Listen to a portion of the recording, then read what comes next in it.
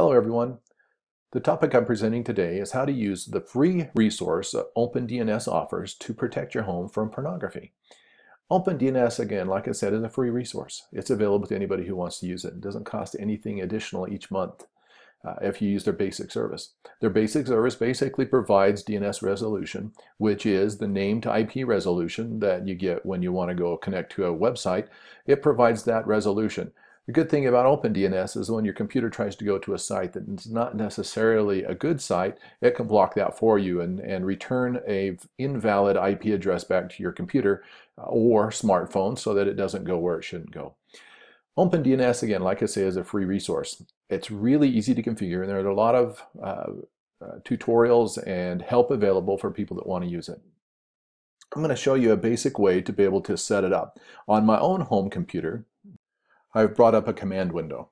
A command window will give you some information that you're going to need to be able to change the configuration in your router. Here we read the IP address of the router. The IP address of the router is 192.168.1.2. If you look down here, you'll also notice that the DNS servers are listed here. Those, that's what we're going to change. Next, we'll need to figure out what we're going to change those numbers to.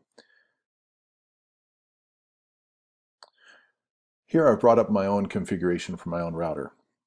I've already logged in by typing in the default gateway of my machine, which is 1010.1.1. It brings up my router login page. Your router login page may look a little bit different but keep in mind that they're all pretty much about the same. Next, we'll need to figure out what we're going to be setting these numbers as. What I've done is I've done a Google search for OpenDNS Family Shield. That's the product that we're going to be using. My first search, which is Home Internet Security Open DNS, I can bring up their page and uh, you bring up and click on this setup guide. That's the easiest way to find it.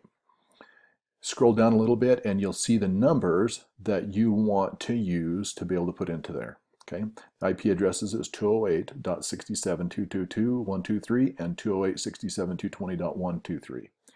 Those look the same, but they are a little bit different if you notice the 2 and the 0.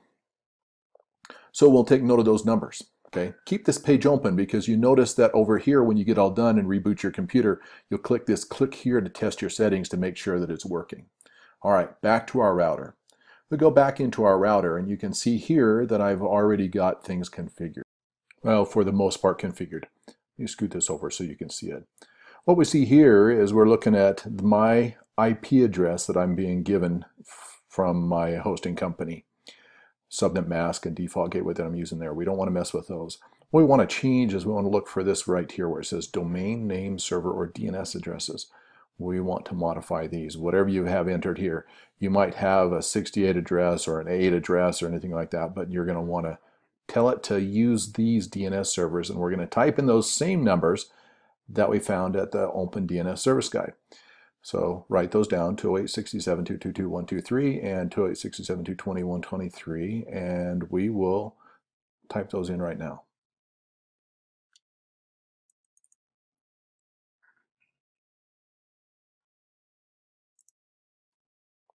and we will click apply.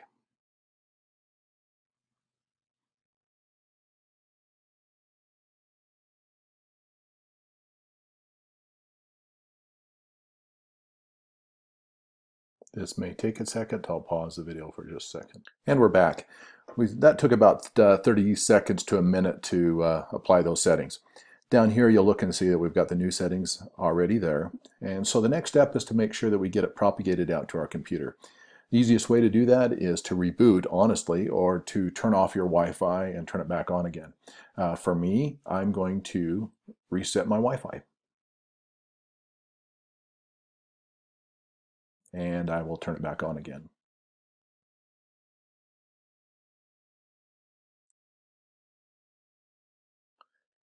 And then we'll go down to back to that original screen and we will test our settings success. So now I'm using uh, Family Shield's uh, OpenDNS service. And now that we have it successfully configured, there's a few limitations. First off, if their device is able to turn off and go to data only over cellular network, these settings are going to disappear. This only protects those devices that are going to be in your home connected to your Wi-Fi. Second part is, is addictive behavior. People get pretty creative and they can overcome this. You'll still want to have a good relationship and talk about these things with your children or whoever you're you're working with. Uh, they need to be known. But for the most part, this will keep 99% of it out of your home and it's a great free service.